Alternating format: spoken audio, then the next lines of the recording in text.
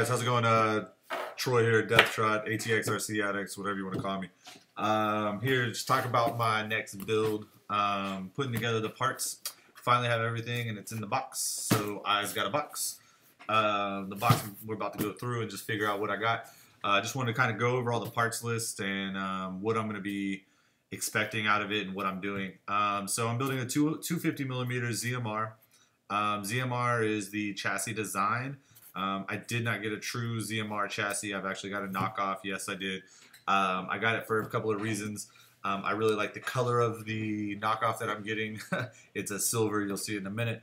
Um, and I like the price. Um, I also put this build together um, fairly quickly using a good guy, uh, Jared Cuthard. Cuthard that uh, I met a couple, I don't know, about a month or so ago on Facebook, and we've been going back and forth. Um, he kind of made me see what I could do with the 250. He talked to me or showed me what he was doing, and uh, I quickly, like everything, like I did with Steven and his Phantom, obviously, um, just jumped on and I just had to build one.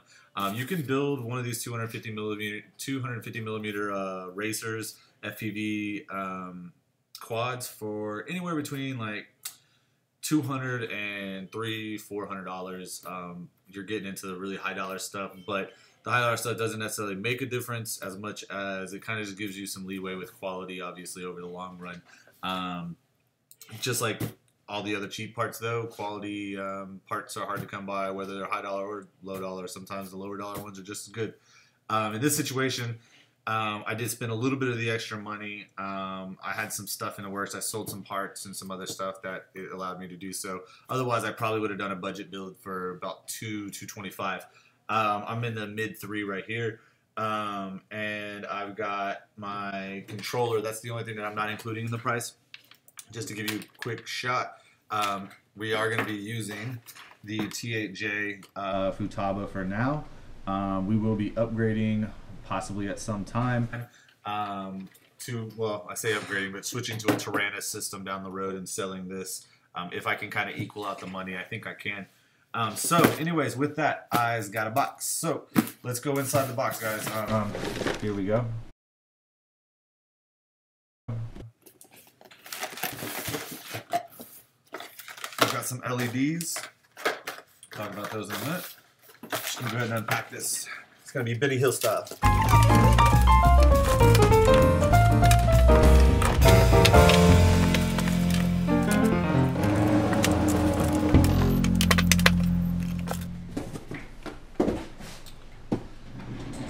All right, so here we go. A lot of you guys probably already recognize some of this stuff. Um, what we got here, um, I'm sorry, let's start with the chassis. So chassis, we already talked about ZMR 250 plates. Like I said, I went with a nice, clean silver look. Um, I just really like the design. I know in theory these things are um, carbon fiber laid over fiberglass, so they're technically not as strong as car true carbon fiber, and they're slightly heavier, I think. Um, but whatever's. Um, all the other little parts are in there, basically. Um, standoffs, all the little uh, anti-dampening balls, or dampening, anti-vibration dampening balls. Oop. These are the uh, landing gear or skids. They just clip onto each arm like so basically somehow. Um, so that's that. So chassis done. Standoffs, other parts, I'll put it up later. It does have some nice little instructions, just throw it out there real quick, show you later during the build process. Um, chassis, once we're there, let's go ahead and start talking about electronics. So I'm going with the CC3D uh, control board, the flight controller.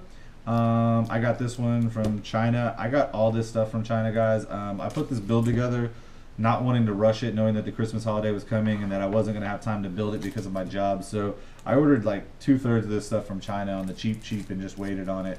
Um, I did get from the good guys at uh, Multi Rotor Mania. I did get the chassis or an extra chassis. Um, I also got some props and I feel like there's something else I got from multirotor uh, multirotormania.com. Um, great place to go. They're actually very competitive price with anybody in the world. So go with those guys. Um, anyways, CC3 flight controller unit. Um, I'm gonna go with this because I wanted to go with Open Pilot. From my understanding, it's the easiest and most simple um, uh, flight controller that you can use uh, to start out. So I went with that. Um, so got that. Here we go. Receiver. I'm going with a Futaba. I went with an 8-channel receiver for a few reasons.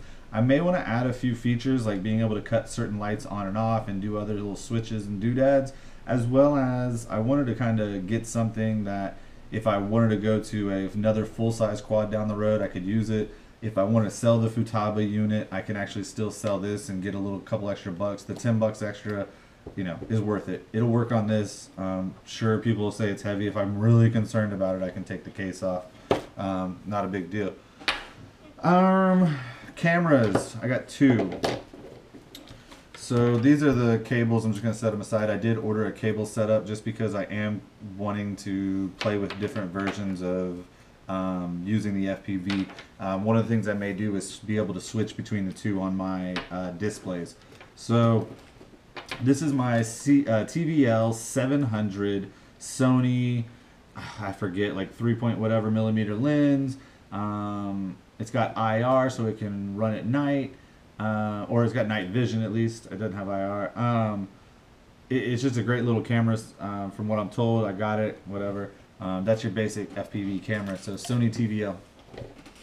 Mobius, everybody uh, in the game or any really action sport camera enthusiast that's bought any probably has seen a Mobius. I hate it. It looks like a garage door opener, but um, I got it because it's really the only thing on the market besides the SJ um, cameras, and this one's proven, so I'll go with it.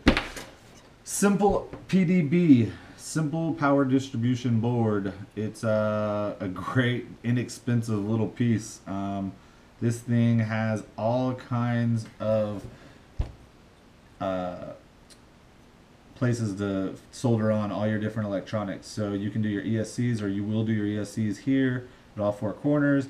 You've got the cameras and the VTX power and um, OSD power. And since we're saying that, we're going to go to my OSD board, which is right here. There's an OSD board in there. And this simple OSD, which is going to do nothing other than give me voltage, will be soldered or attached to the board basically right there and plugged in. Um, so this is a really nice way of getting your power distribution from the battery all the way to all the ESCs, um, to the RX through the SCs, to the cameras, and to your OSD. Um, this is what I would use. Um, SimpleOSD.com. You can get them also from Multi-Rotor Mania. You can get them with these OSDs already installed. There's a mod for the RSI that you can also do. Um, I think they'll do that. They'll install a step down if you really want to go to a step down. I'm not doing a step down because I, or a step up because I'm running 3S. Um, so that's that. So simple PDB, camera, simple PDB. video transmitter, 200 milliwatt. This cheapo TS351. It does me well in my TBS Discovery, so we're going to try it here. Um, if it doesn't work out, somebody will buy it and I'll get a better one, or a more powerful one. Put all this back just so...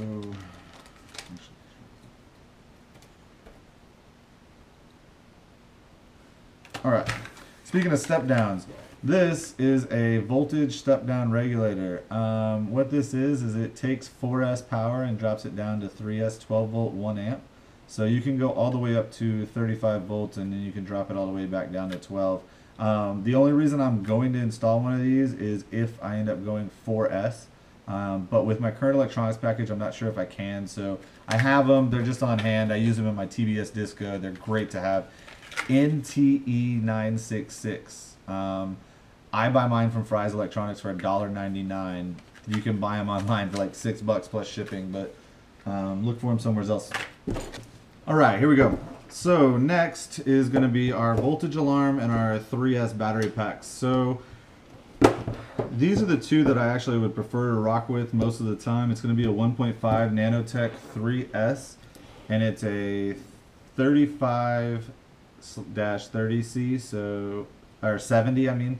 It's a 3570C, so it's 35C um, constant and 70C burst. Um, great little pack. I think it was like 13 or 16 dollars. Um, these are the nanotechs that I'm going to use. I went ahead and also got a 1.6. It's a slightly different profile. It's slightly longer but skinnier. I just wanted to try it. Um, there was like only one or two available. I just wanted to see. I might like it. Um, voltage alarm, very very important, especially on a small um, quad that you're going to take off with and be however far away. You really should have an alarm. Um, typically, you're going to be kind of close. So here we go. It's a voltage checker. Um, so it's going to tell you all the cells. And then you can also set the voltage that you want it to beep off at. So anyways, I'm going to stop. um, voltage checker, batteries, nanotech pack, voltage checker. Good. All right. we'll talk power plant now. ESCs. Uh, Simon K. They came already in a pack. I got them um, comboed up. Simon K's with Tiger T Motor Navigators. Um, the Tiger T Motor is, like everybody knows, one of the top of the line, um, if not the. Um, these are the MN 2204s, and they are the pancake style 23 kV. So pretty sweet little motor, man. Um, I'm very excited about having this motor. Um, they come packaged in here with the uh, three hole prop design, direct prop design um, prop adapter, and they also come with the regular prop adapter. Thing is, none of them are counterclockwise technically, so these are all clockwise prop adapters. What good that does me, I don't know. So I'm going to be getting some lock nuts for the props, um, just like everybody does. But anyways, super cool, man. MN 2204, 2305 or 2300 kV Navigator Series T motor. Um, I don't know. I really did it just to have it, to be gosh darn honest. So four of those, four Simon K's, and props 5.3s all around um, for now. So 50 30s. I just bought a variety of different from different people depending on what the best price was. 50 30 R's for reverse or counterclockwise. The other 50 30s are clockwise. and then I went with a three blade also. I wanted to just try them. These are 50 30s. Um, 50 30 tri blades from Gem Fan. Anyways. All those are uh, 50, 30, 5 weight threes, so that's those. Go back to the LEDs real quick. Um, these are going to be cool, I think, because I'll show you here. This is a green LED. I actually use similar LED, or the same LED brand or brand and design. Um, this one actually on the TBS Disco at all four corners. So um, I decided to get this one. It's a green one. It's going to be on the front, wherever that is. I'm going to somehow mount it like so. You can actually see it's a really nice width for this. It's almost perfect. Um, I can actually either trim some of this off if I want, or I'm just going to use the holes as zip ties probably and just, I don't know, make it fit.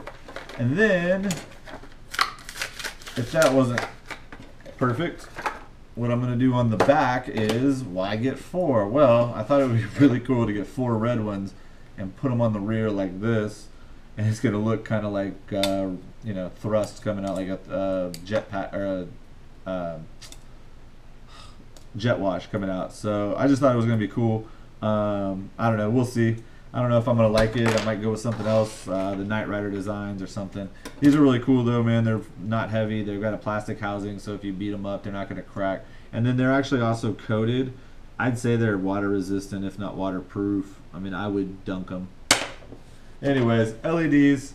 Um, that's the ZMR build, guys. Um, more to come. This is just part one. I really appreciate you guys sitting through it. Uh, we'll get back to you soon.